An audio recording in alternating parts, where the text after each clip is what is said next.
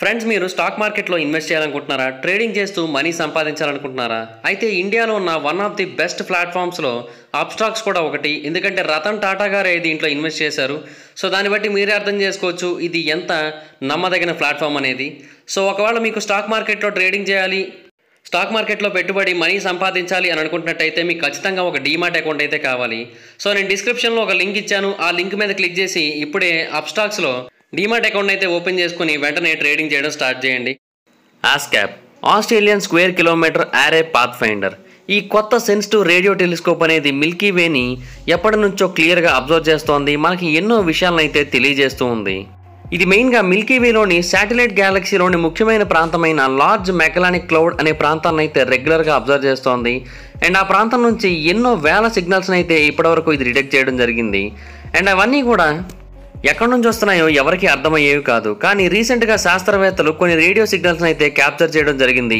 So వీటి కారణంగా మనకి గ్యాలక్సీల యొక్క ఎవల్యూషన్ గురించి కొంచెం డీటెయిల్డ్గా తెలుసుకునే అవకాశం అయితే దక్కింది. అలాగే స్టార్స్ ఎలా పుట్టాయి అనే విషయం మీద కూడా మనకి క్లారిటీ అనేది వచ్చే అవకాశం అయితే ఉందని తెలిసింది. అండ్ ఇంకొకటి ఏంటంటే నార్మల్గానే ఈ సిగ్నల్స్ని డీకోడ్ చేయడమైనా లేదంటే అర్థం చేసుకోవడమైనా చాలా కష్టమైనది. ఎస్పెషల్గా మనం వాటిని సడన్గా విన్నప్పుడైతే మాత్రం మనకు అది చాలా డిఫరెంట్గా అనిపిస్తూ ఉంటుంది. అండ్ స్పేస్ యొక్క డెప్త్ నుంచి వచ్చినప్పుడు ఆ నాయిస్ అనేది ఇంకా డిఫరెంట్గా అనిపిస్తుంది.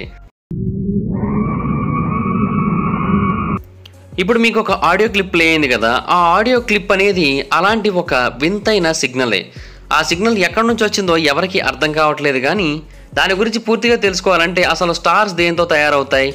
రెడ్ డ్వాఫ్ స్టార్స్కి బ్లూ డ్వాఫ్ స్టార్స్కి మధ్య ఉన్న డిఫరెన్స్ ఏంటి? స్టార్స్ చనిపోయిన తర్వాత ఏం జరుగుతుంది? ఇలాంటివి ఎన్నో తెలుసుకోవాల్సి ఉంటుంది. కానీ ఇప్పటికీ కూడా శాస్త్రవేత్తలకి స్టార్స్ ఎలా క్రియేట్ అవుతాయనే విషయం మీద క్లారిటీ అయితే లేదు. ఇన్ఫ్యాక్ట్ వాటిలో తొంభై శాతం అనేది స్పేస్లోని విజిబుల్ మ్యాటర్తోనే తయారవుతుంది. కానీ ఇప్పటికీ కూడా స్టార్స్ ఎలా తయారవుతుందనేది అయితే మాత్రం మనకు తెలియట్లేదు. కానీ ఈ వీడియోలో దాని గురించి మనకు తెలియజేసే కొన్ని వివరాలు అయితే ఉన్నాయి. అవేంటో చూద్దాం. స్పేస్లో వినిపిస్తున్న వింత వింత శబ్దాల వెనక ఉన్న మిస్టరీ ఏంటో చూద్దాం. ఆ తర్వాత స్పేస్లో హైడ్రోజన్ అనేది కనపడడం చూసి శాస్త్రవేత్తలకు చాలా హ్యాపీగా ఉంది. దానికి రీజన్ ఏంటో చూద్దాం. షాంపైన్కి స్పేస్కి మధ్య ఉన్న సంబంధం ఏంటో చూద్దాం. ఇలాంటి ఎన్నో ఆశ్చర్యకరమైన విషయాల గురించి ఇప్పుడు తెలుసుకుందాం. ఫైనల్గా స్టార్స్ ఎలా పుడతాయనే దాని గురించి కూడా కొంచెం డీటెయిల్గా తెలుసుకుందాం. స్టార్స్ ఎక్కడి నుంచి వస్తాయనేది మనం తెలుసుకోవాలంటే ఫస్ట్ ఆఫ్ ఆల్ ఏ మ్యాటర్తో ఈ స్టార్స్ అనేవి ఫామ్ అవుతాయి అనేది అయితే మనం ఖచ్చితంగా తెలుసుకోవాల్సి ఉంటుంది. పంతొమ్మిది వందల ముప్పైలో శాస్త్రవేత్తలు ఏమని నమ్మేవారంటే అసలు కొత్త స్టార్స్ అనేవి ఇప్పుడు స్పేస్లో పుట్టట్లేదు అని నమ్మారు. దానికి మెయిన్ రీజన్ ఏంటంటే స్టార్ ఫామ్ అవ్వాలంటే ఖచ్చితంగా హైడ్రోజన్ అనేది కావాలి. సో అప్పటి కాలం నాటి ఆస్ట్రానమర్స్ ఏమని నమ్మారంటే అవుటర్ స్పేస్లో హైడ్రోజన్ అనేది లేదు సో డెఫినెట్గా కొత్త స్టార్స్ ఫామ్ అవ్వట్లేదని నమ్మారు. అండ్ స్పేస్లో స్టార్స్ ఉన్నంత వరకు ఈ విశ్వం అనేది సేఫ్గా ఉంటుంది. వన్ స్పేస్లో స్టార్స్ అన్నీ కూడా అంతమైపోయినట్టయితే ఈ విశ్వం అనేది ఇంకా ఉండదని అయితే నమ్మారు. కోర్స్ అదైతే నిజమే. ఎందుకంటే సూర్యుడు మన స్టారు ఒకవేళ సూర్యుడు కనుక లేకపోయినట్టయితే ఇంకా మనం లేనట్టే కదా.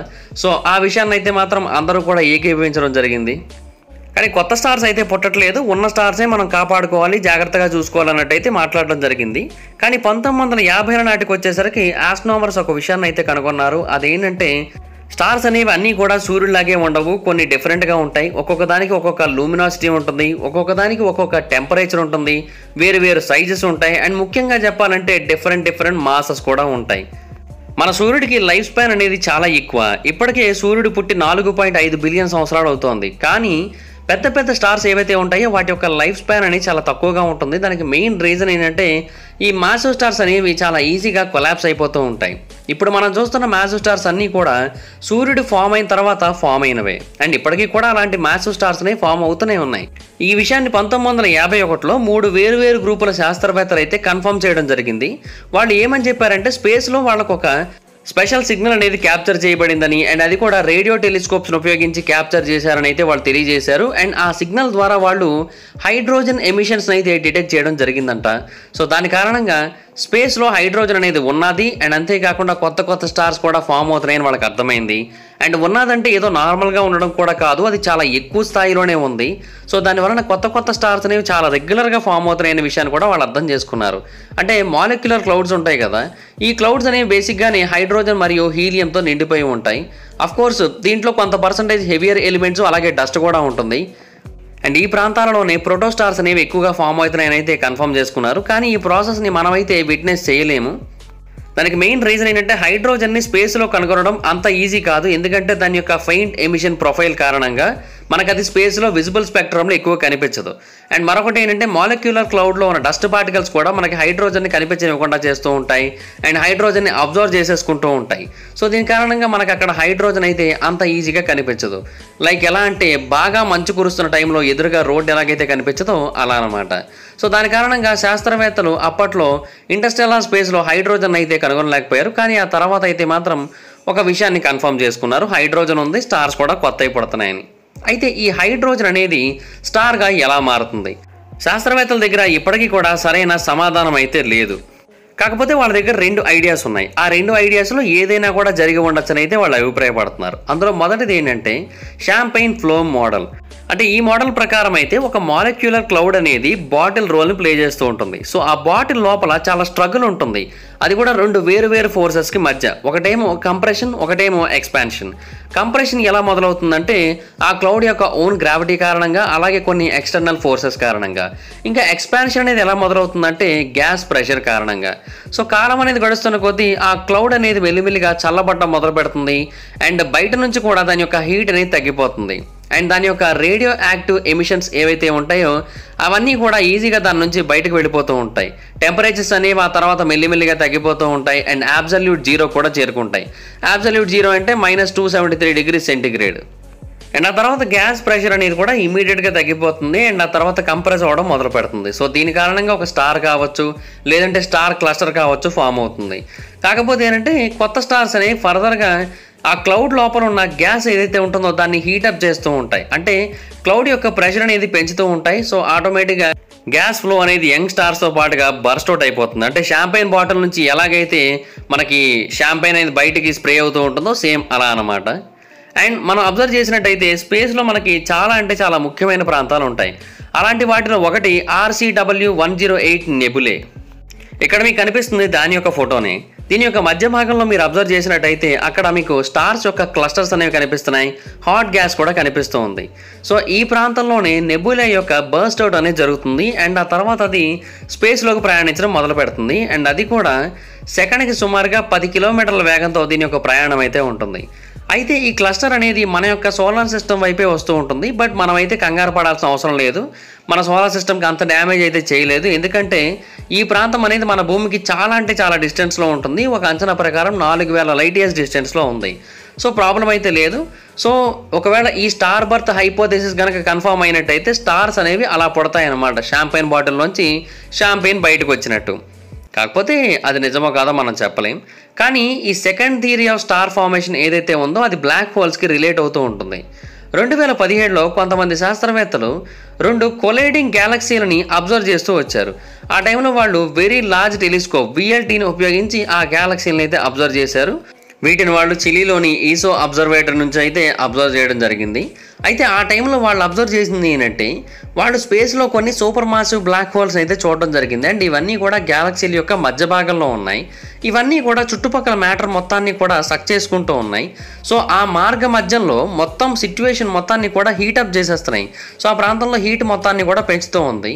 అండ్ ఆ హీట్ ఏమో పోల్స్ యొక్క బయట భాగం నుంచి ఎజెక్ట్ అవుతూ ఉంది. అంటే కొన్ని పవర్ఫుల్ కాస్మిక్ విండ్ స్ట్రీమ్స్ అనేవి ఫామ్ అవుతూ ఉంటాయి గ్యాస్ పార్టికల్స్తో నిండిపోయి. సో దాని నుంచి ఆ హీట్ అనేది బయటకు వెళుతుంది.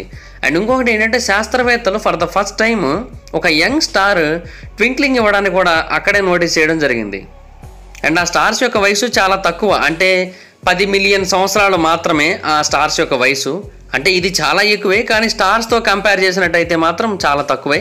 ఇవి స్టార్స్ యొక్క బేబీసో లేదంటే స్టార్స్లో బేబీసో అని అర్థం అనమాట అయితే ఆ సూపర్ మాసివ్ బ్లాక్ హోల్ అనేది ఎలా అంటే హాట్ గ్యాస్ యొక్క జెట్స్ని క్రియేట్ చేస్తూ ఉంది.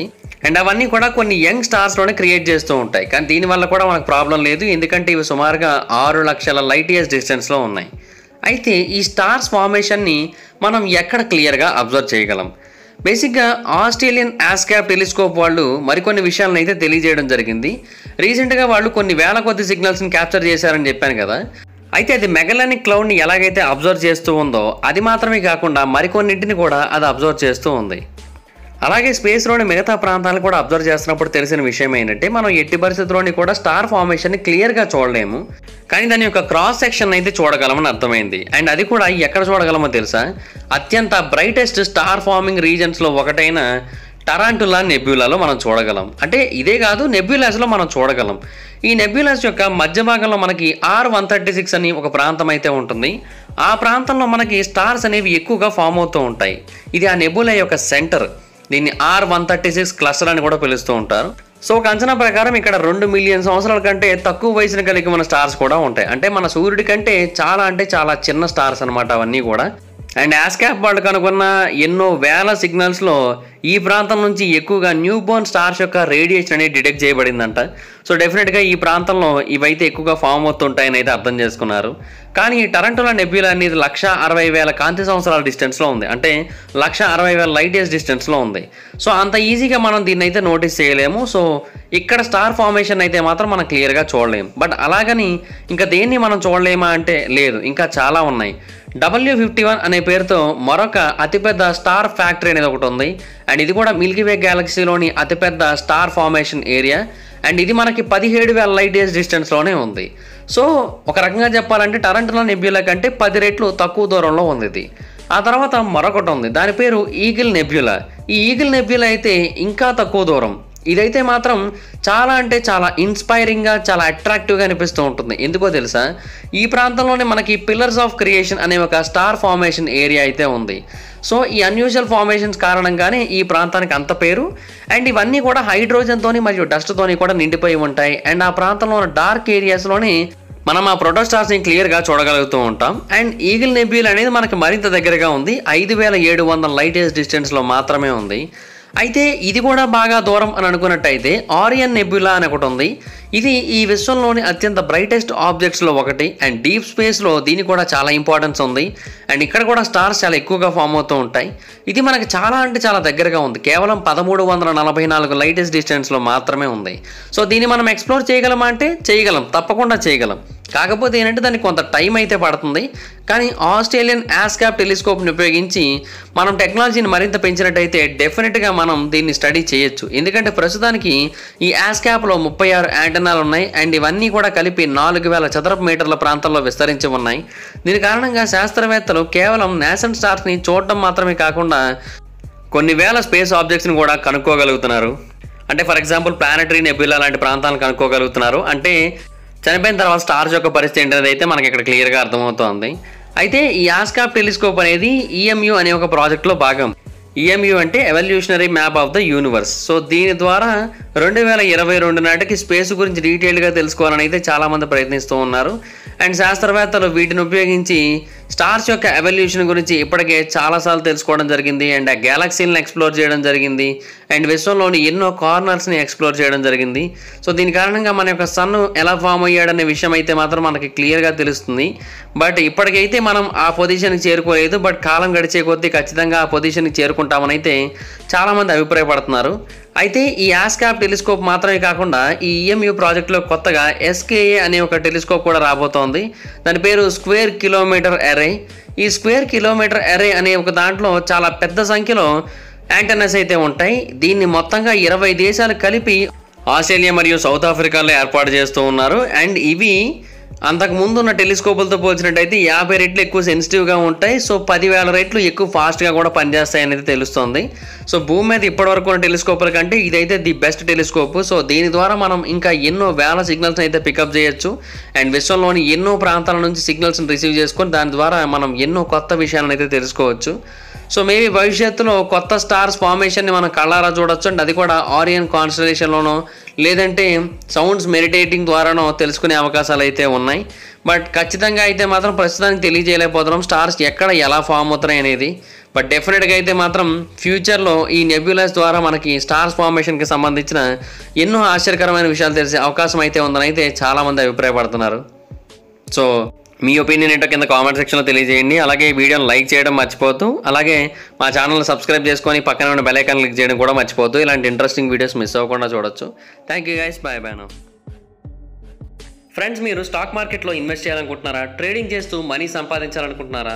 అయితే ఇండియాలో ఉన్న వన్ ఆఫ్ ది బెస్ట్ ప్లాట్ఫామ్స్లో అప్స్టాక్స్ కూడా ఒకటి. ఎందుకంటే రతన్ టాటా గారే దీంట్లో ఇన్వెస్ట్ చేశారు. సో దాన్ని బట్టి మీరే అర్థం చేసుకోవచ్చు ఇది ఎంత నమ్మదగిన ప్లాట్ఫామ్ అనేది. సో ఒకవేళ మీకు స్టాక్ మార్కెట్లో ట్రేడింగ్ చేయాలి స్టాక్ మార్కెట్లో పెట్టుబడి మనీ సంపాదించాలి అని అనుకుంటున్నట్టయితే మీకు ఖచ్చితంగా ఒక డీమాట్ అకౌంట్ అయితే కావాలి. సో నేను డిస్క్రిప్షన్లో ఒక లింక్ ఇచ్చాను. ఆ లింక్ మీద క్లిక్ చేసి ఇప్పుడే అప్ స్టాక్స్లో డీమాట్ అకౌంట్ అయితే ఓపెన్ చేసుకుని వెంటనే ట్రేడింగ్ చేయడం స్టార్ట్ చేయండి.